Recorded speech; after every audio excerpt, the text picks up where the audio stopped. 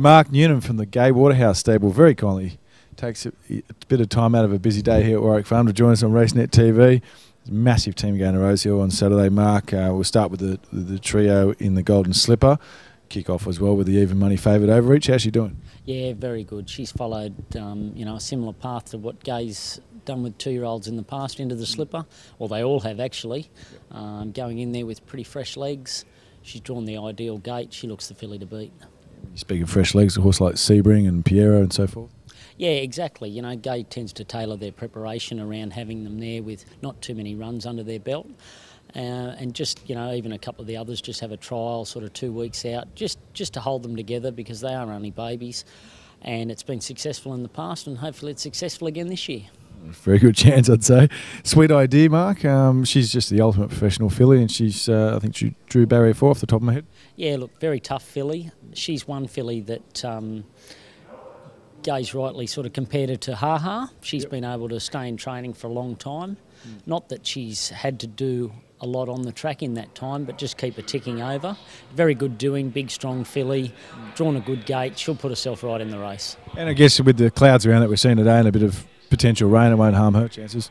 No, it shouldn't shouldn't harm her or Whittington, and you know he looks to be you know the pick of the Colts in the race, mm. or you know one of the main two anyway. Um, he's the day he won the Breeders' Plate. They had a good good shower of rain that day. Mm. You know they gave the track out probably dead or good on the day, but it was it was definitely affected. So I wouldn't see you know any any dampness in the track affect his chances. He's trained on well you know, the Breeders' Plate winners always have a good record of running well in the slipper, and he shouldn't be any different. Of course, Pierro won the Breeders' Plate and then went on to win the slipper as well, didn't he? Yeah, well, he remained unbeaten, and uh, you know he's still unbeaten in Sydney. Um, and Whittington, his form and the form around him has been strong all the way. Let's go to Pierro now and the George Ryder. Um, he's no, he's one of your favourites of all time, Mark. Uh, first up, he was fantastic. He then came back 100 metres in distance off a heavy track made a horse like More Joyous, just gave it a galloping lesson, it looked like, and I don't take anything away from the champion mare, but how's he done since that win?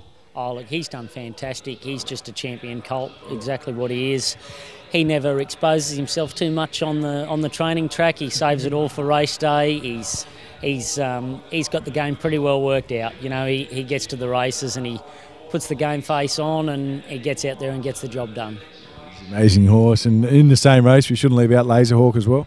No, he's definitely come on since Newcastle. Mm. Uh, he's he had a early setback into his preparation, uh, but since Newcastle, he's really thrived. He's going well. He'll run terrifically well, and then he's very well weighted into the Doncaster. Mm. Lovely weight, and Jimmy Cassidy rides him in the Donny too. Yeah, look, James has got the ride in the uh, in the George Ryder, but um, Jimmy takes over in the Doncaster you know, he's he's a big, solid horse who's you know going to be well suited at Randwick Mile.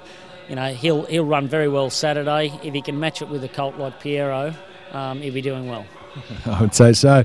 Uh, getting back to more joy, she's in the Queen of the Turf. She's, I think last year she became the first mare to win back-to-back races. Now she's striving to win the race three times in a row.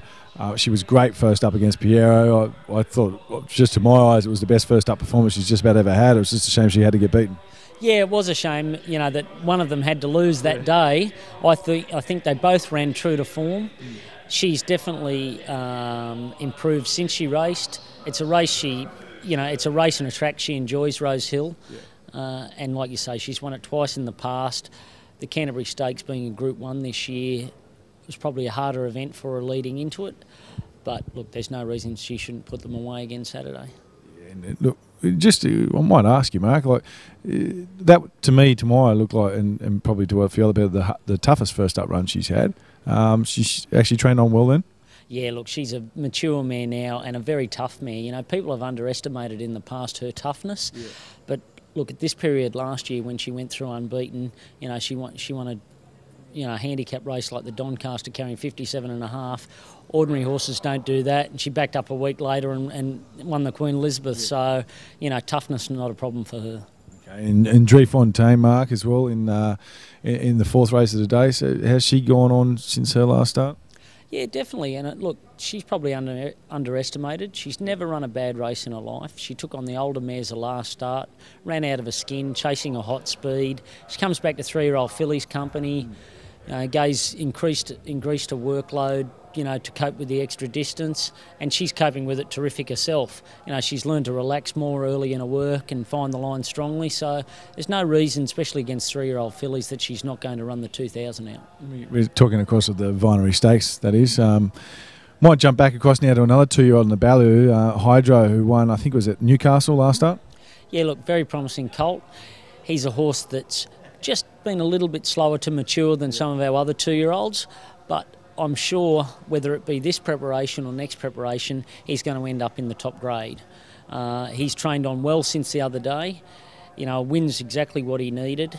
He went a little bit keenly and still made a few mistakes at Newcastle, but got the job done, and he's taken good improvement from that. I remember Tommy Berry rode it in a trial probably a month or two ago now, probably two months ago, and he won a couple other trials. This thing might have run third or fourth, and he said that's the one to watch. It just had no idea for the first few hundred metres, so it sounds like he's all put, putting it all together now, and he's son of Aqua D'Amour, is that right? Yeah, yeah, Aqua D'Amour, an old stable favourite. Yeah. Um, and look, she was at her best later in her life, mm. and I'm sure the best is ahead of him. You know, he's got what he's got is raw ability, and look, that'll take him a long way Saturday. But he's definitely one that um, people shouldn't drop off if he doesn't, you know, if he doesn't get to a top grade this time in. Okay, and just rounding it out, uh, Mark, we've got Hippopotamus, Hippopotamus, Hippopus, struggle there. King of Olympia in Indianapolis in the Tulloch Stakes. Yeah, look, Hippopus is going into the race in top form. He won at Canterbury the other day, dominating the race from the start. He's a horse that, uh, you know, Gai's earmarked the Derby for and held him back going into his last run at Canterbury. He had six weeks between runs but still was able to produce a terrific effort and really spaced his rivals. Indianapolis is getting up to a more suitable distance for him. He's just his runs, you know, so far this time in have been in shorter shorter trips where he's just been out sprinted. And King of Olympia, well, he's building to a trip where he's going to be more suited as well. But um, look, of the three of them, Hippopus seems to be the horse really, really improving quickly. Um, you know, and that's not to say that the other two haven't got their fair share of ability, but the Hippopus seems to have he's made the marked improvement in between runs. Okay, got two quick questions for you just before we let you go. And you've been with us for quite a while, so I won't keep you too much longer. Um, the slipper, the trio, of the slipper. I'm guessing you're tipping overreach. There? Oh look, I I think overreach she's the only she's the only two year old all year to put a space on arrivals, and she's done it twice. You know, the other the other form from the other races has been a little bit mixed. Yep. You know, our other horses have held their form very well, and they've competed in the in high pressure races. Mm. You know, if there was any knock on overreach, it may be that she hasn't competed in a high pressure race, whereas over um, Sweet Idea and Whittington coming through, say, the Breeders' Plate and the Magic Millions have, have handled pressure races and pressure days very well. But look, if, if you nailed me down to one, I'd have to say that Overreach is the one to beat. And just quickly, which is the better thing, More Joyous or Pierro? Well, I've I've always been in, I've always been in the Pierro camp uh, right from the start because I ride him a lot. Yeah. Steve O'Halloran, who rides More Joyous, would, would definitely have a, another opinion. But uh, look, I, I, you know I just love I love a horse that dominates like he does. Mm. He's unbeaten in Sydney. He's unbeaten at Rosehill. So I wouldn't see I wouldn't see him being beaten Saturday. Thanks, mate. Good luck. Thank you. Cheers.